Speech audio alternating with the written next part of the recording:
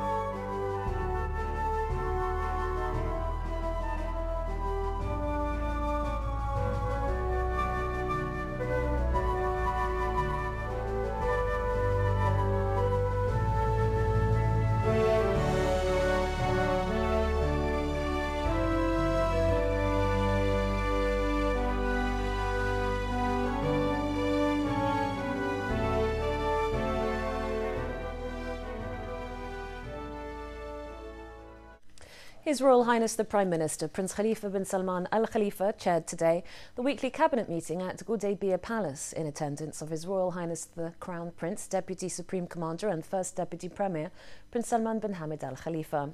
His Royal Highness the Prime Minister hailed His Majesty the King's speech in Egypt's Economic Development Conference by stressing the importance of unifying stances in order to overcome obstacles that threaten the security and stability of countries. He also hailed Bahrain's supportive stance towards Egypt and stressed the importance of enhancing cooperation with Egypt in various fields, and on an economic level in particular. The Cabinet hailed His Majesty the King's directives to further enhance joint economic and investment cooperation with Egypt. The Cabinet also congratulated Egypt President Abdel Fattah el Sisi on the success of the forum through its initiative that aims to participate in the development of Egypt on various levels.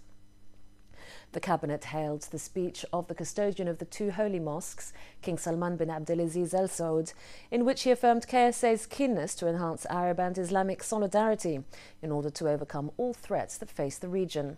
His Royal Highness the Prime Minister stressed the importance of the Bahrain International E-Government Forum 2015 for its workshops and sessions that aim to develop information and communication technology field in the kingdom.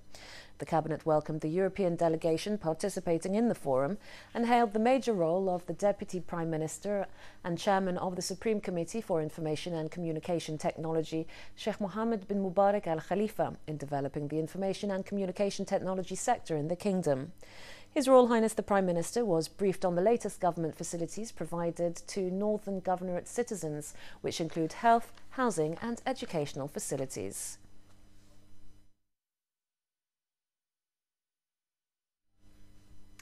After the meeting, the Minister of Information Affairs and official government spokesman Isa Al Hamadi held a press conference in which he outlined the issues discussed on the agenda of the Cabinet meeting. The Minister said the Cabinet reviewed a draft law to establish an institute of recitation and training for Holy Quran teachers in order to develop a framework to preserve the culture of the Holy Quran. The Cabinet approved the prospective law. He also said the Cabinet approved the memorandum regarding the amendment of the Tokyo Protocol 1963 on offences and other criminal acts committed on board aircrafts. The amendment aims to improve the capacity of states and concerned parties through expanding the scope of their jurisdiction as regards to these crimes and the scope of legal protection.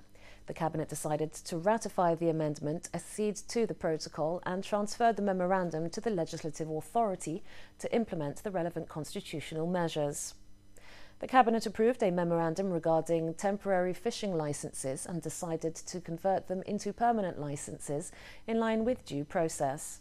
The Cabinet also approved a memorandum regarding the rendition of industrial zones, including the re evaluation of rentals, the memorandum aims to increase profits for the Ministry of Industry and Trade by renting industrial space. Government spokesman Isa Al Hamadi said the Cabinet approved a memorandum regarding the reorganisation of the Department of Communications at the Ministry of Transport and Telecommunication. The memorandum seeks to place the department under the office of the Minister of Transport and Telecommunication. He also said the Cabinet reviewed a report on the outcomes of the 19th Middle East Oil and Gas Show and Conference, MEOS. The report noted the event saw a wide range of delegates from the engineering and oil and gas sectors take part, some 8,000 participants in total. The report suggests the number of participants has increased by 700 compared to those of the 2013 MEOS conference. The government spokesman said the Cabinet approved a memorandum submitted by the Minister of Transportation and Telecommunication and Vice President of the National Authority of Qualification and Quality Assurance for Education and Training Board of Directors regarding the publication of the evaluation reports. He also said the Cabinet approved a memorandum submitted by the Minister of Transportation and Telecommunication, Vice President of the National Authority and Qualification and Quality Assurance for Educational Training Board of Directors regarding assessment of the performance of educational institutions and professional training programs.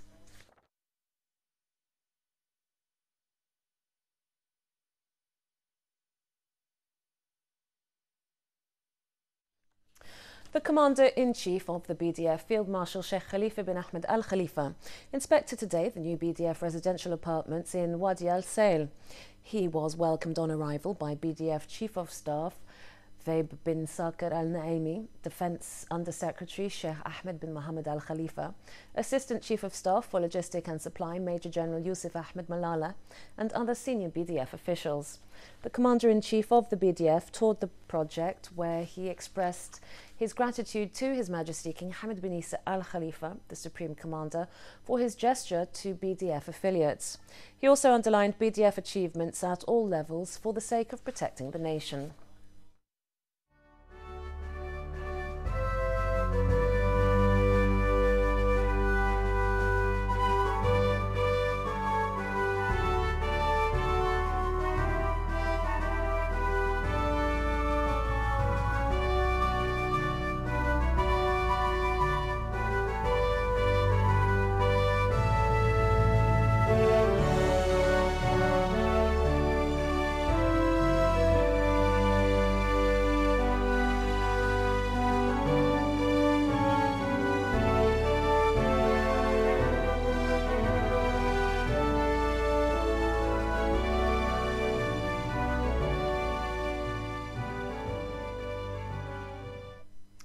The Minister of Education, Dr. Majid Al Naimi, paid an inspection visit to the National Test for Secondary Schools, which began today.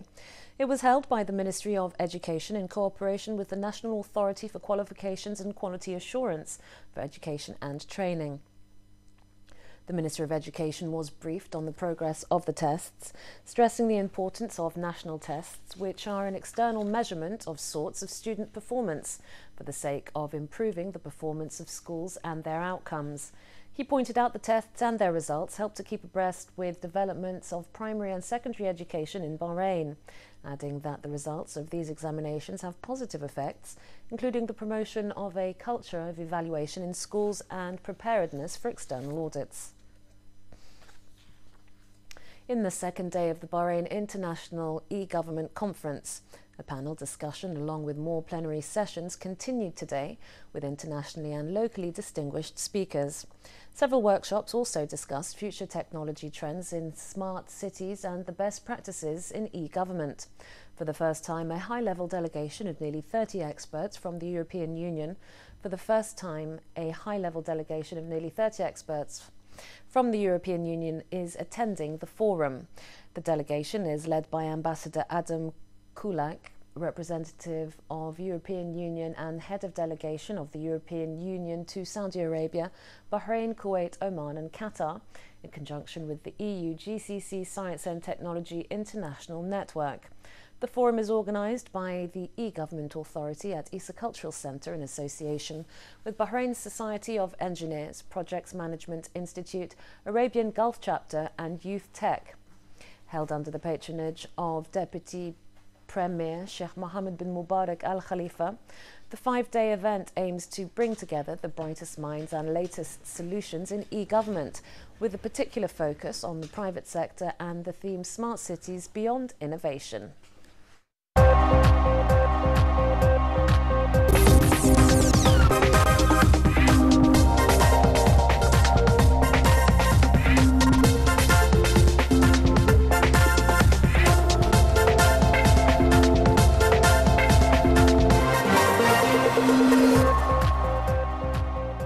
Very good evening. Thank you for joining us for the business news on Bahrain Television.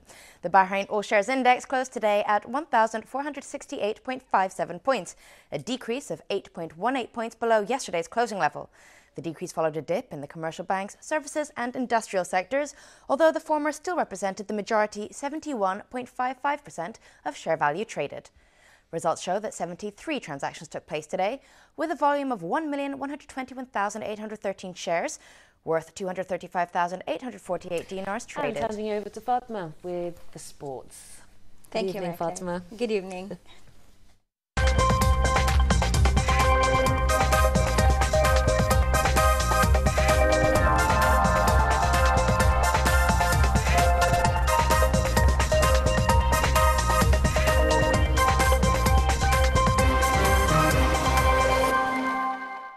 Good evening and welcome to the sports, sports news on Bahrain Television. Bahrain yesterday continued to impress the fourth GCC Women's Games being held in Muscat. The nationals added eight medals, five gold, two silver, and one bronze in athletics, taekwondo, and bowling, boosting their total tally to 26 medals, 14 gold, 9 silver, and 3 bronze, to top the medals table after day 8. On the third and concluding day of the athletics, 10 finals took place as, the Bahrain, as Bahrain put on a brilliant show to win one gold medal and two silver. Mayam Al Ansari opened Bahrain's account of the day by coming first in the high jump event, where she managed 1.70 meters, overcoming UAE's Alia Al Hamadi, which scored 1.59 meters, and Sarah Nasser with 1.53 meters of Kuwait, who bagged the silver and bronze medals. And that's all from Bahrain Television's News Centre for now. We'll be back with more updates at 11. But until then, from all of the news team and myself, Mary Claire, thank you for watching. Goodbye. Goodbye.